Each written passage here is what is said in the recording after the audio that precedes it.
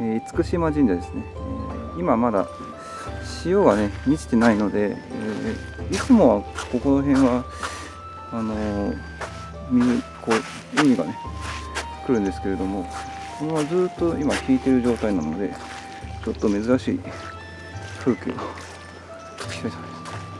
通常はここまではあの使ってるので、まあ、水にね使っている厳島神社という、まあ、イメージが強いんですけれども、えー、この時にしか取れない この頑張って朝頑張った人にしか取れない風景っていうことで、えー、行ってみたいと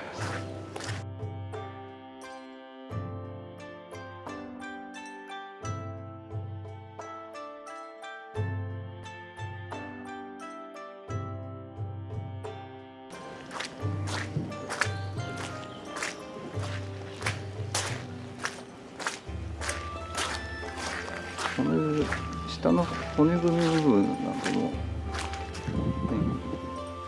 満潮時には撮れない風景。貴重な。頑張って朝起きた人にしか撮れない貴重な状態ですね。結構あれですね。身元は、えー、結構厳しいですね。もやっぱりあるんですね。腐食があるから大変なんですね。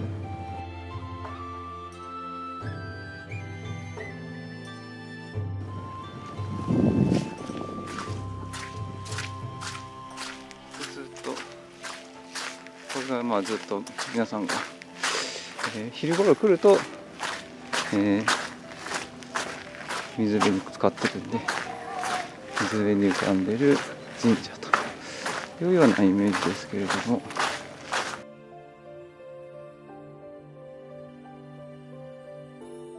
全部浮いてるんですよね。